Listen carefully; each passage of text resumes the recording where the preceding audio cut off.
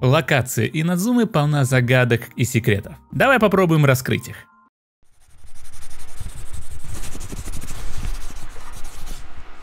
А перед началом ролика не забудь принять участие в розыгрыше 10 благословений полулуны. Информация более подробная о розыгрыше вот в этом видео. А также в среду обязательно приходи на стрим, где мы будем вместе с вами открывать Аяку. Это будет очень крутой стрим. А теперь поехали к видео. Большой всем телений привет, с вами на связи Аркадий Толкинвейт. Разработчики ежедневно выкладывают нам информацию по поводу того, что нас будет ожидать в Инадзуме. Давайте потихонечку посмотрим, что там предоставили и с чем нам придется встретиться. Начнем, пожалуй, с того, то, что основной задачей, когда мы будем находиться на Инадзуме, а будет сбор печати Электро. И, как вы помните, в Льюэ и в Манштате, когда мы собирали печати Электро, мы взамен получали некоторые плюшки в магазинах, да? То есть мы обменивали и получали там формы, по-моему, кристаллы, кристаллики, мору, ну, в общем, разнообразную мелочь. Один раз купили и все забыли. В принципе, в Инадзуме будет примерно та же самая механика. Мы за время своего путешествия будем собирать печати электро, но после этого мы будем обменивать их у священной Сакуры на особые награды.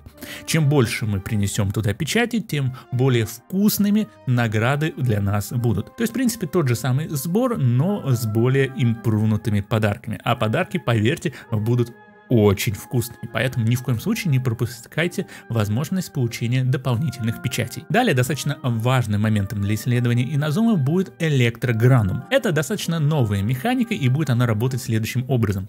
Мы во время путешествия будем находить как раз таки такие вот электрогранумы, они будут вот так вот выглядеть, и можем его к себе взять.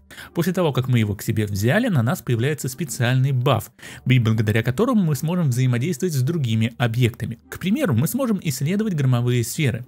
То есть это вот такие вот маленькие сферки будут летать, и в том случае, если на нас есть электрогранум, мы сможем переместиться к этой сфере, то есть так жум, и моментально туда переместиться.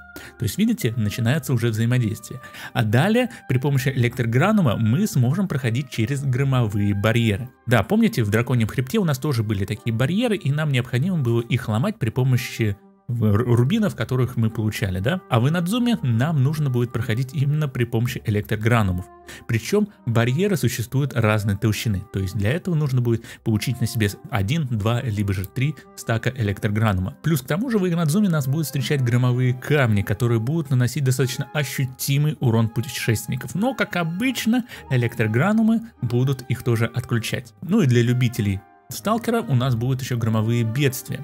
Это будут специальные локации с электрическими аномалиями, которые постоянно будут наносить нам урон.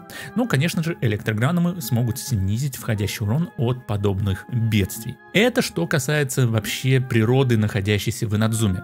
Но так как мы знаем, по магу Кенке у Инадзума у нас полна разнообразными механическими секретами. И как раз таки эти механические секреты будут использовать силу электро. Какие секреты при помощи новых механизмов мы будем раскрывать? Во-первых, это будет загадка с разнообразными камнями. То есть мы можем встречать вот такие вот три разных камня. Камень разряда, релейный и кумулятивный камень. В принципе, по названию вы можете понять. То есть мы сначала заряжаем камень разряда. Ну, нам нужно при помощи релейных камней довести этот заряд до кумулятивного камня. Причем надо понимать то, что в некоторых местах будут специальные ловушки. То есть где-то будет не хватать одного релейного камня. И в этом случае нам нужно будет самим выступать в роли проводника. Ну и понятно то, что как только мы замыкаем цепь, мы получаем себе, скорее всего, сундучок. Также по всей локации можно будет находить зонды для поиска аммоний. Как раз таки эти зонды будут указывать на те места, где будет большое-большое скопление электро. А как мы понимаем, где большое скопление электро в Инадзуме, там нас ожидает еще больше загадок и также мест интереса. В общем, это такие маленькие локальные подсказки, а также еще дополнительные секретики. Для самых умных игроков Genshin Impact у нас будет дополнительная механика с поисками одинаковых кубиков. Да, когда мы будем приходить на некоторые загадки, перед нами будет сказать определенное количество кубов, и эти кубы можно будет атаковать. При каждой атаке куб будет поворачиваться, и на них будет загораться определенное количество граней. Наша задача будет очень тривиальной, сделать так, чтобы при помощи наших атак загорелось одинаковое количество граней на всех кубиках. Как только эта задачка выполнена, мы будем получать свою прекраснейшую награду. Ну и еще, конечно же, будут такие вот большие статуи, при помощи которых мы сможем переводить переводить электрический ток с одной точки на другую.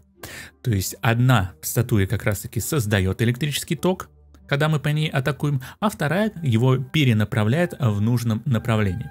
То есть здесь нам нужно будет присматриваться примерно, как оно должно куда лететь, и после правильной атаки оно будет лететь дальше. Скорее всего, этот заряд нужно будет использовать для того, чтобы привести этот электрический шок к другим головоломкам. Скорее всего, будет именно так. Ну и, конечно же, куда же без новеньких миленьких монстров. В Инадзуме нас встретит Баке Дануки. Это такой новенький монстр, как именно с ним взаимодействует, пока тоже непонятно. Возможно, Возможно, это будет простой монстрик маленький, который тоже будет нам давать мору, когда мы будем его ловить. Ну, скорее всего, именно так и будет. То есть, как вы знаете, сейчас в Тайвате есть периодически встречаются маленькие монстрики с золотыми мешочками, которых мы можем половить и забрать себе немножечко у них моры. Возможно, это будет такой же вот маленький монстрик. Вот о таких загадках и надзумы разработчики нам уже успели поведать. Скорее всего, завтра будет еще что-нибудь интересное. Ну а на сегодня это все. Большое спасибо тебе за просмотр и до встречи в следующем видео. Пока-пока.